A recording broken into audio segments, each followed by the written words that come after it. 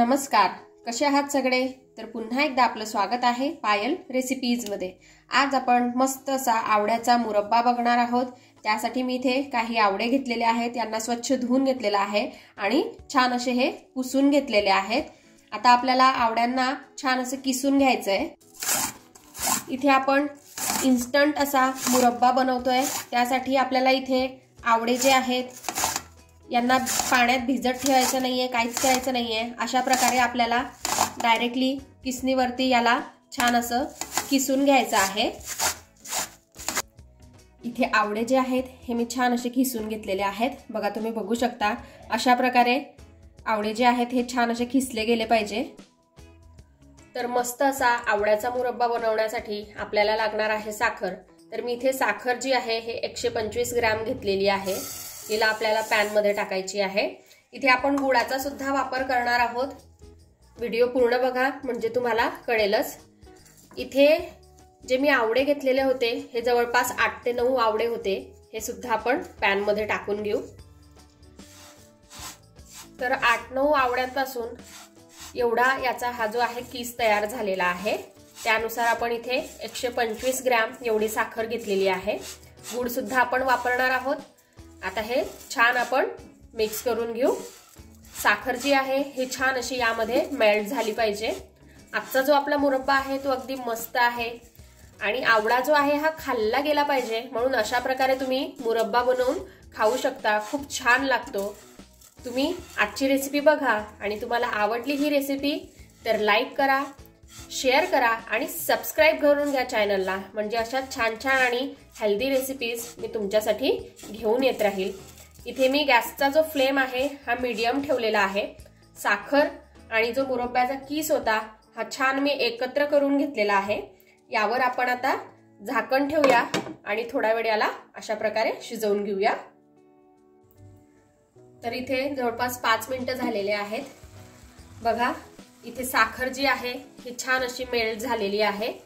आणि आपला जो आवळ्याचा कीस आहे हा पण बऱ्यापैकी इथे झालेला आहे. पण पाहिजे तसा अजून झालेला नाहीये. अजून आपण याला छान असा शिजवून घेऊ. एक दोन वेळेस आपल्याला लीड काढून म्हणजेच झाकण काढून थोडासा अशा प्रकारे अधूनमधून हलवून घ्यायचं आहे आणि पुन्हा यावर झाकण ठेवायचं आहे आणि आवळ्याचा जो किस आहे हा छान असा शिजवून घ्यायचा आहे इथे पुन्हा जवळपास पाच सात मिनिटं झालेले आहेत.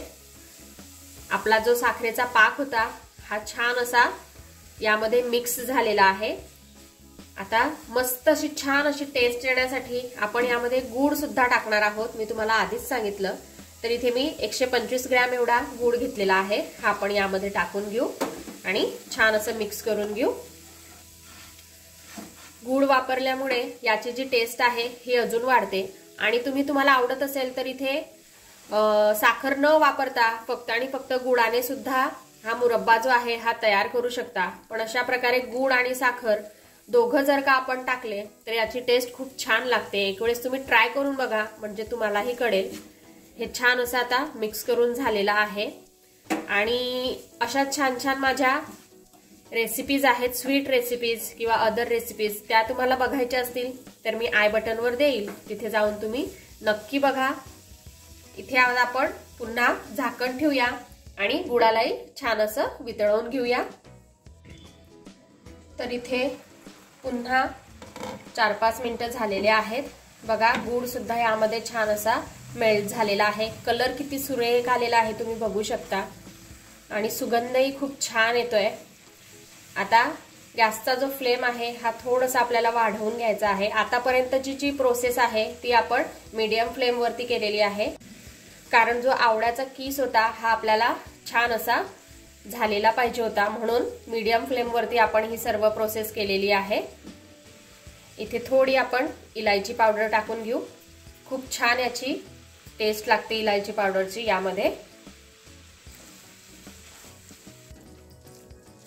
तर बघा इथे जो गूळ होता हाही छान असा झालेला आहे यामध्ये. तुम्ही बघू शकता किती मस्त इथे आपला जो मुरब्बा आहे हा तयार झालेला आहे.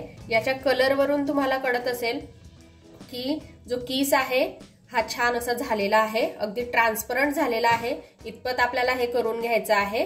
दोन मिनटं याला पुन्हा आपण अशाच प्रकारे राहू देऊ. थोडासा जो गुड आहे हा यामध्ये बाकी आहे. हा छान असं यामध्ये गेला पाहिजे. तर इथे हे छान असं झालेलं आहे. तर बघा इथे आपला मस्त असा आवड्याचा जो मुरब्बा आहे हा खाण्यासाठी रेडी आहे.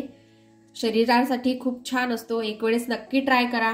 आणि आजची रेसिपी कशी वाटली ते मला कमेंटमध्ये कळवा.